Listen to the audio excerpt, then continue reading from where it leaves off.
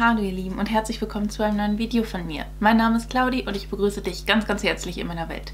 Heute werfen wir einen Blick in die Degusta-Box aus dem Monat Dezember und wenn du Bock drauf hast, dann hol dir was zu essen, hol dir was zu trinken, lehn dich zurück, genieß die Show und viel Spaß mit dem Video. 15,99 Euro kostet diese Box monatlich, erscheint auch monatlich und äh, ihr könnt mit meinem Code, ich glaube 6 Euro sparen, sodass ihr die erste Box für 9,99 Euro bekommt. Das müsste Claudi sein oder Claudis Welt. Claudi müsste das sein. Ähm, ich setze euch alles mal in die Infobox und ich darf auch eine Box an einen von euch verlosen. Alles, was du dafür tun musst, um an der Verlosung teilzunehmen, steht unter dem Video in der Infobox. Schau super gerne einfach mal rein. Wir haben hier eine Box, die gefüllt ist mit Lebensmitteln. Also wir haben hier sowohl mh, mm, ganz normale Basic-Sachen, aber auch mal so ein paar Sachen, wo man halt so links und rechts geschaut hätte, wenn man so offen durch den Supermarkt gegangen wäre. Und äh, ja, sie ist relativ schwer, weil wir auch Getränke mit drin haben. Und ich würde sagen, wir werfen mal einen Blick hinein und schauen, was die Boxenpacker sich für den äh, Dezember überlegt haben. Für den Monat, wo wir sowohl Weihnachten als auch Nikolaus als auch... Ähm, Silvester haben. Also da kann richtig was abgehen. Ähm, genau, dann haben wir hier Werbung. Wir wünschen frohe Weihnachten, einen guten Rutsch ins neue Jahr. Das finde ich süß. Das ist wirklich eine Karte, die man auch so verwenden kann. Noch mehr Werbung. Ach, ganz schön viel Werbung ist mittlerweile am Start. Ähm, ja, fröhliches Beisammensein ist hier auf jeden Fall das Motto. Und ich sehe hier schon direkt, dass das äh, Produkt des Monats wirklich meins sein wird. Oh mein Gott, ja! Mrs. Muffin, hallo! Mini-Muffins mit Schokoladenfüllung haben wir zuallererst mit dabei. Da sind acht Muffins drin. Perfekt, wenn mal spontan Besuch vorbeikommt und man jetzt nicht irgendwie einen Kuchen da hat, den man mal eben schnell machen oder präsentieren oder geben kann. Ne? Und nee, das finde ich klasse. Also sowas mag ich auch super gerne und ähm, da habe ich richtig Bock drauf. Das muss ich ganz ehrlich sagen, das finde ich klasse. Ich freue mich immer über diese Mini-Küchlein, wenn wir sowas drin haben. Auch das ist super praktisch. Wir haben hier Cornflakes drin und zwar bio- und glutenfrei Cornflakes, ohne Salz- und Zuckerzusatz, Ballaststoffquelle, ähm, Alnavit, frei von vielem. Aha. Äh, 250 Gramm sind hier drin enthalten. Sieht wirklich nichts, also doch, die sehen sehr basic einfach aus. Ne? Also ich mag super gerne Müsli und ich mag auch super gerne Cornflakes. Ähm, ich würde mir da aber tatsächlich irgendwas noch mit beimachen, dass das Ganze etwas süßer wird, sonst wäre mir das wahrscheinlich zu wenig. Oder man macht sich das in Joghurt oder so mit rein, um den gewissen Crunch zu kriegen, könnte ganz gut laufen. Ähm, ja, ne, genau. Vielleicht das so als, vielleicht, vielleicht für die guten Vorsätze, die man sich dann irgendwie macht, dass man das Ganze etwas gesünder angehen möchte. Ich mag es aber gerne auch sehr süß, sagte sie und äh, hatte letztens noch zu ihrem Freund gesagt, na, ich muss mal gucken, ich glaube, ich muss mal vielleicht ein bisschen mehr Sport machen. und freut sich wie ein kleines Kind über diese Dinger. Wer hat das Original Karamell-Popcorn? Wie geil ist das bitte? Also das ist super, super lecker. Ich weiß nicht, ob ihr das kennt. Wenn nicht, probiert es. Oh mein Gott, das ist so lecker. Und es gibt auch mit Brezeln. Hatten wir auch mal drin, irgendwie in Boxen oder in Adventskalendern. Alto Belli. Also da könnte ich mich wirklich reinlegen, ne? Das, das Ding ist auch eingeatmet. Das sind 140 Gramm. Das habe ich 0, nichts leer. Und mir läuft jetzt schon wieder das Wasser im Mund zusammen. Das ist jetzt schon mein Highlight. Egal, was jetzt noch kommt. Und hier habe ich jetzt eine äh, Madar, eine Greta, Gita, Gitas, ähm, Madaras, nee, Madras Currypaste, Hot. Oh je. Ähm, genau, damit kannst du dann dein Essen etwas aufpimpen. Also finde ich ganz cool. Vor allem, wenn man dann bedenkt, dass man vielleicht zu den Feiertagen ein bisschen Gas gibt mit dem Kochen, aber dann ansonsten mal auch etwas ähm, einfache Gerichtere, einfachere Gerichte machen möchte, ist es ganz cool, wenn man sowas da hat. Ne? Ähm, wir sind jetzt nicht so die Curry-Menschen, deswegen wird das jetzt nicht sein, was unbedingt bei uns bleibt. Dann ist hier noch was ganz Klassisches drin und das finde ich super. Und zwar ist es äh, von Hela Original Tomatenketchup. Den hatten wir auch mal irgendwo in einer Box oder so. Den haben wir aktuell in Anwendung. Mag ich sehr gerne. Und ich esse gerne Ketchup zu so viel, also auch mit Nudeln und so. Ne? Das ist halt schon ganz cool. Und ich glaube auch, dass einige ähm, so Richtung Weihnachten, Heiligabend, Silvester grillen zum Beispiel. Da kommt auch so ein Ketchup ganz gut, dass man da einfach seine Würstchen mit essen kann. Das finde ich klasse. Äh, das sind Kinderduos und ähm, das sieht auch so ansprechend aus. Also hier haben die wirklich eine, eine, eine Spielkiste für Claudi gemacht, ich sag's euch. Also hier sind so viele tolle Sachen drin. Finde ich großartig. Äh, ich liebe Kinderschokolade. Ich habe gestern noch so eine komplette Packung äh, Kinderschokolade leer gemacht, weil oh, einmal aufmachen, direkt eingeatmet, ne? Einfach super lecker. Ist nicht gesund, darüber brauchen wir gar nicht reden, aber es ist einfach lecker. Und da freue ich mich, wenn ich sowas in der Box drin habe. Und ich weiß nicht, ich bin halt wirklich jemand, das sage ich auch immer mal wieder bei diesen Unboxings, ähm, ich gehe oft im Supermarkt wirklich gezielt nach meinem Einkaufszettel. Klar, das eine oder andere kommt noch mit rein, aber ich kaufe mir halt immer so die Marken, die ich so sonst hole. Und ich bin auch so ein Sparfuchs. Ich kaufe mir dann einfach auch lieber mal die günstigeren Sachen. So, das heißt, diese Kindersachen oder wer das Original Karamell, Popcorn, das würde ich so nicht mitnehmen, einfach weil ich dazu geizig für bin. Und wenn ich das aber in so einer Box drin habe, finde ich das großartig. Ne? Du sparst dir ja auch ein Stück weit mit bei, ähm, weil der Warenwert eh höher ist als das, was du dafür ausgibst. Und dann wirst du auch noch inspiriert, dass du dir vielleicht mal einfach so ein bisschen was gönnen darfst. Ähm, hier habe ich von Wiltener Gebirgskräuterlikör. Yo, den werde ich nicht trinken, den wird mein Freund nicht trinken. Das sind äh, 30 Prozent, 0,02 Liter.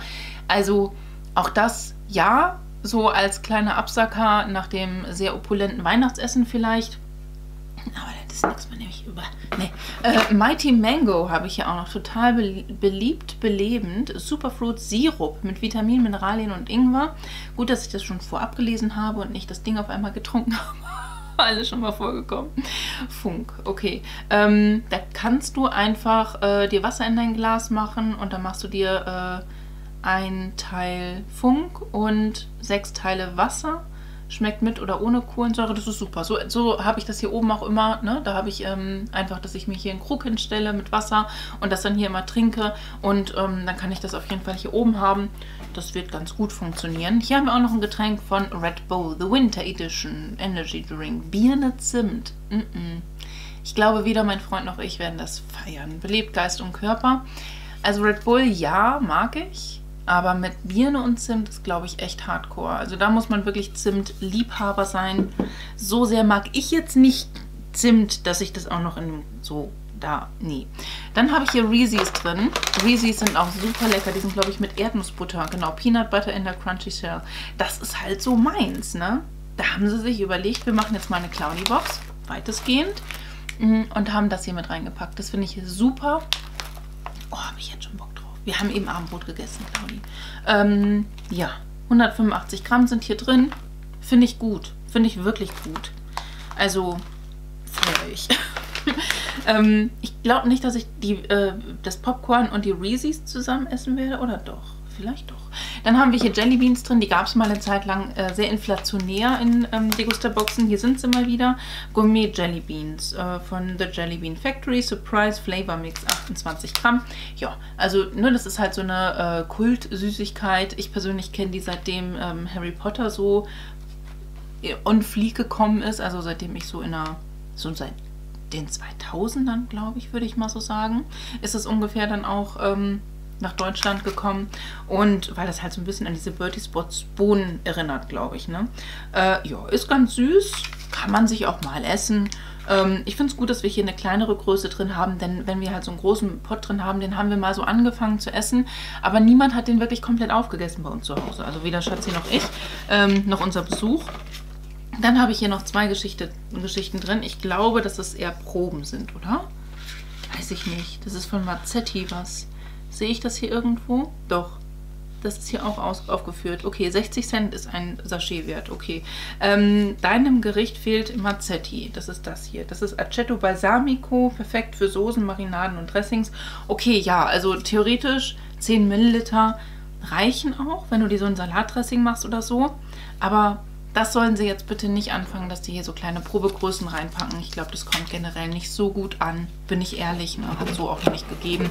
Das würde ich jetzt nicht so empfehlen. Ähm, und dann gibt es hier noch viel, viel mehr. Oh mein Gott, äh, ich habe hier auch richtig Konserven drin. Sowas finde ich immer total praktisch. Ananas-Stückchen, ähm, geil. Von Del Monte, finde ich großartig. 40 Gramm, 140 Gramm sind hier drin. Mm.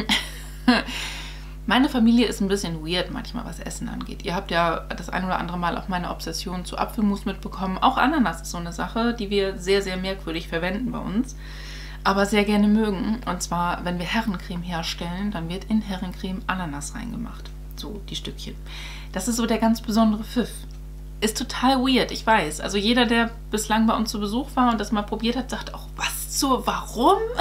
Und das ist ja halt bei uns so üblich. Keine Ahnung, wer sich das irgendwann mal von meinen Ahnen überlebt hat, überlegt hatte. ist so ein Familiending bei uns. Und dann habe ich hier noch ähm, frisch vom Feld Bo Borlotti-Bohnen von Bonduel. Ja, wenn du vielleicht ein Chili con Carne oder sowas machst oder, keine Ahnung, Bohnensalat, was auch immer. Ja, wäre jetzt bei uns, glaube ich, nicht so ultimativ äh, im Einsatz. Ne? Da sind wir nicht, nicht so, dass wir viele Bohnen essen. Also das wird äh, wahrscheinlich dann ähm, weiter wandern. Aber bei mir ist es halt so, wenn ich hier Sachen aus der Box nicht verwende, geht es zum Beispiel zur Tafel oder ich spende das. Ne? Also bei mir wird halt ungefähr nichts an Lebensmitteln weggeworfen. Da sind wir wirklich sehr, sehr äh, konsequent bei uns zu Hause. Ähm, dann habe ich hier noch zwei Sachen drin. Nut Butter Bar, Chocolate and Peanut Butter. Das ist halt so meins, ne? Endlich hat Cliff sich mal getraut, hier was anderes reinzupacken. Wie oft hatten wir diese Cliff Bar Riegel drin? Jetzt kommen sie endlich mal mit der Nut Butter Bar um die Ecke. Finde ich großartig. Also finde ich wirklich toll und ähm, das werde ich mir dann auch mal so zwischendurch gönnen. Also wenn ich jetzt zum Beispiel, ich bin jetzt hier abends um 8 am Drehen und äh, wenn ich dann so zwischendurch mal ein bisschen Hunger kriege, ist sowas einfach optimal für mich. Und als letztes habe ich hier auch noch was ganz Aufregendes von Hengstenberg. Paprika Tomatenmark mit Chili. Das ist auch interessant. Scharfes Tomaten, pa scharfes Paprikatomatenmark, weil du 63% Paprikamark hier mit dabei hast unsere Paprika-Tomatenmark, unser Paprika-Tomatenmark mit Chili. Das ist spektakulär. Sowas kann ich mir auch wohl mal vorstellen, dass man sich das einfach mal so ne, gönnt. Wenn wir zum Beispiel vor allem Schatzi ist bei uns der Koch zu Hause, aber ähm, eher so einen, so einen geilen Braten macht oder so und dann dazu halt die Soße, dann ähm, macht man das ja ganz gerne, dass du dann ja in diesen, ähm, in die Pfanne noch so hier Tomatenmark mit reingibst und dann halt einen Schuss Balsamico oder ne, Wein oder sonst irgendwas. Und ähm, wenn du da hier sowas hast, dann ist das natürlich eine ganz spezielle Kiste. Ich glaube, das kommt ganz gut. So, ihr Lieben, das ist jetzt einmal die Box gewesen. Ich kann es nicht anders sagen, als äh, dass ich die großartig finde.